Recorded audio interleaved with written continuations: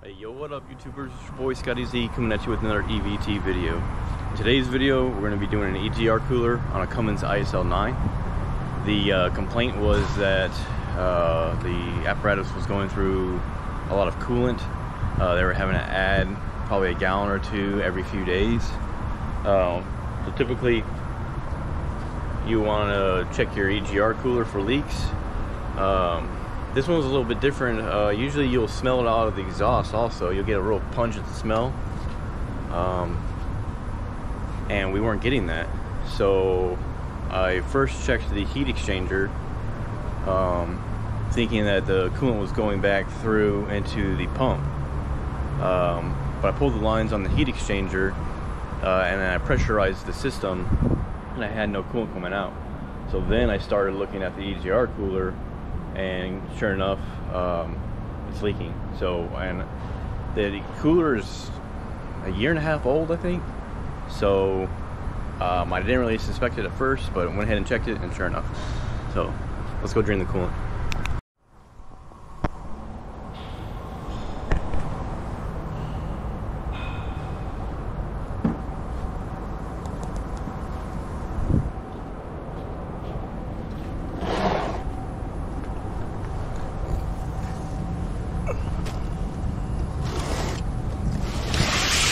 a starter on this thing.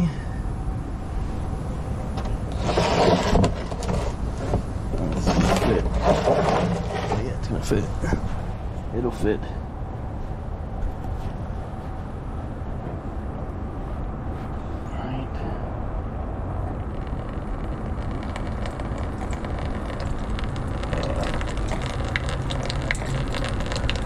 Now I'm just opening the uh, radiator drain. We'll go pull the radiator cap, let it breathe a little bit.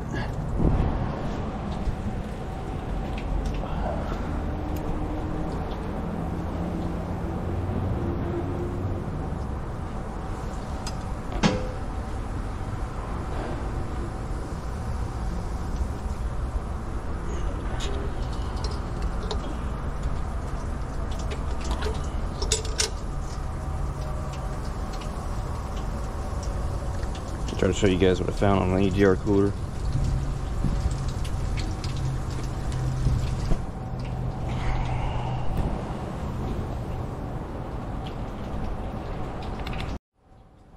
So we already got this pulled apart bit here.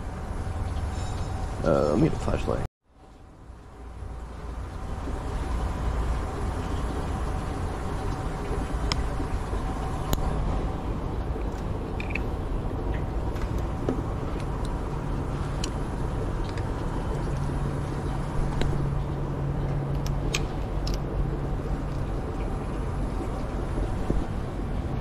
Can't really see.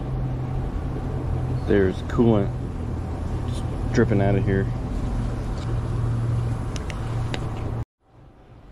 I'm gonna start by taking the uh, air-to-air -air tube off here. Um, we'll pull this boot off the turbo, just to give us a little bit more working room here.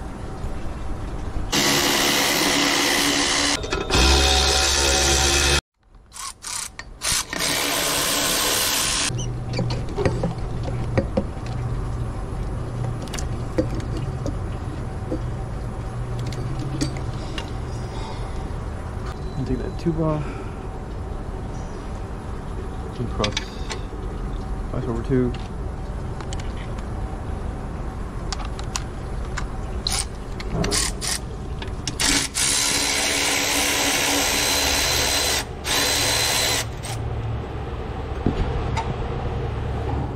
An extension.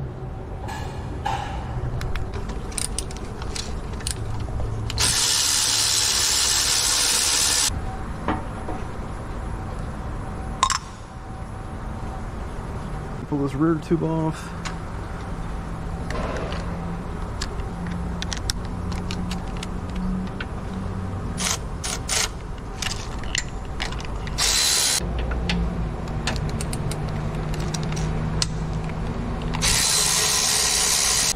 Alright, while we're waiting for our coolant to drain, we'll probably start loosening these coolant lines. So we're going with the um, 9 16ths.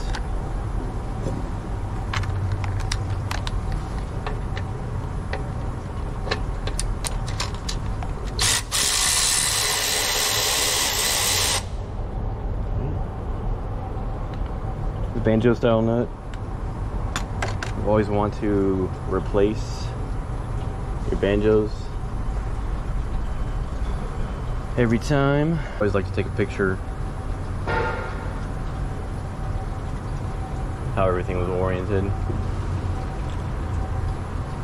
Chances are you won't forget, but chances are you will forget. Especially when you have like drive ups all the time.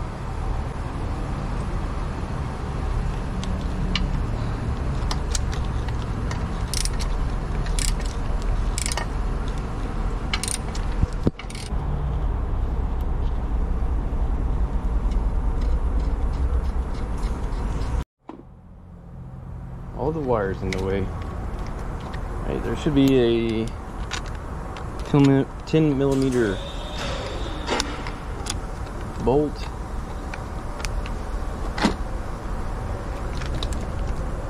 Holds this bracket right here on. Down there. My extension's gonna be too long. So I just get on it with a a socket here.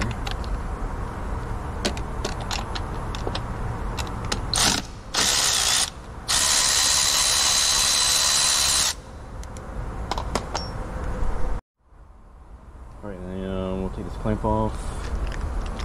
It's basically like a hose clamp.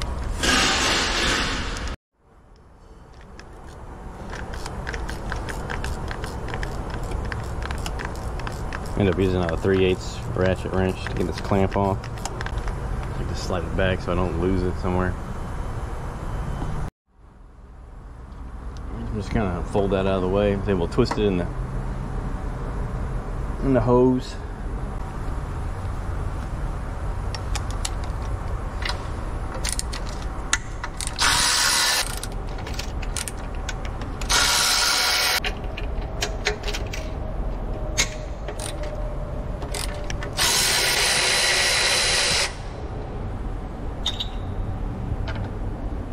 We're gonna have three more on the back side. Oh yeah. See, you gotta pull that bracket off because it covers up two of the bolts. And those are eight millimeters. You know what? They may be sevens. Nope, they're eights.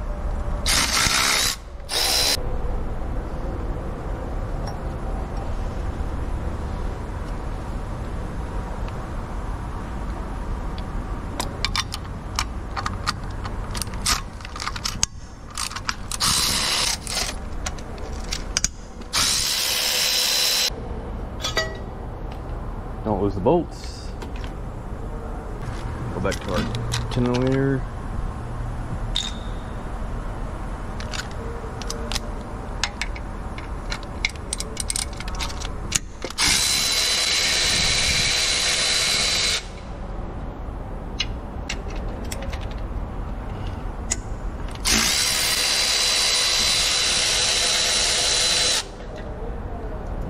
Take all our bolts here, put them in our tray so we don't lose them.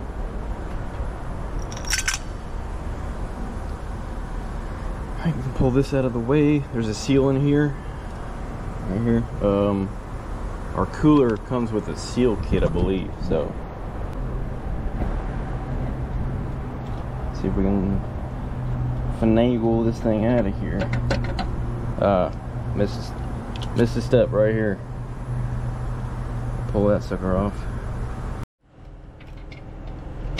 So it's a 13.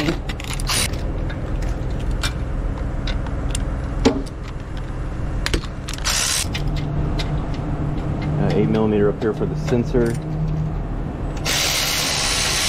Right now we'll try to pull it off.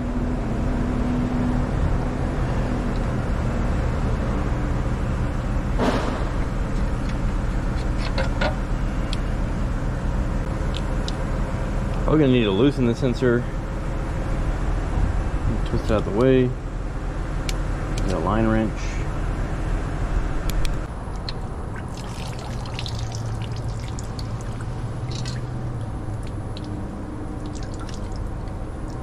Loosen the stuff out the way.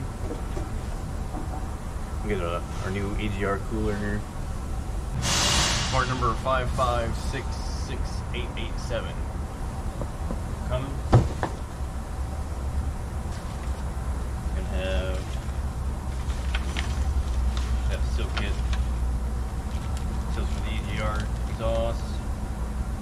Silk for there. Silk for there.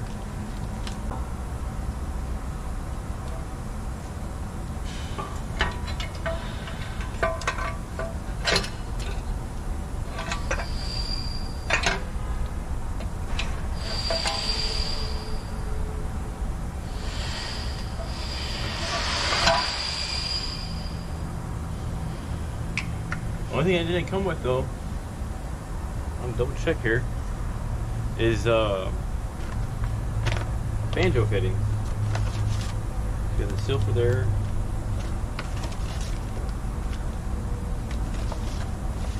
Two gaskets. Yeah, no banjo fittings. So might want to keep that in mind. If you're ordering a cooler, you need to replace those banjo fittings. So let me go get some. Well, I found some banjo fittings that I found in my personal stash. I got this kit here too.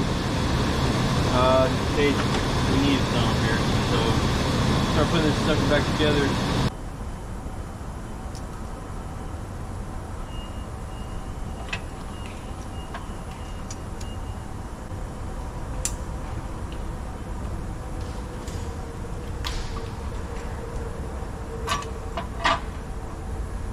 So I'm over there watching you do that. Over there tearing that bag open. Oh, you saw that? funny. Yeah, that, it was difficult. I didn't think I was gonna get it open. Wait for you to take it with your teeth. Then your, your dentures will fall out. How do you know I have dentures? Because you've got meth mouth. Meth mouth? Meth, meth heads always have to get dentures because they lose your teeth. Oh, but I don't do meth, man. Don't mind. I can tell. You can tell. With a face like that, Dang, that's messed up, man. Jared from Subway, has to be meth. Jared from Subway has to do meth. Why's that? I you got a little tool over here. Thanks. Where's my red Well, never mind. Hey, man, you you're, you're there for me when I need you to be. Appreciate that. Do you uh, do you mind being on YouTube? What's that? Do you mind being on YouTube? What's on YouTube? Are you okay with being on my YouTube channel? As long as it no fucking horses and stuff, or I'm fine with it. Yeah, uh, I might make you sign a consent form. Tell me, I'll, uh, I'll do that. Everybody, this is Sean from Napa IPS. He's the he's our parts guy. Not a either. Probably don't even have the right camera angle on you. I don't think he can see you. Oh yeah, I can see you. You're there. Hey, you don't have my consent.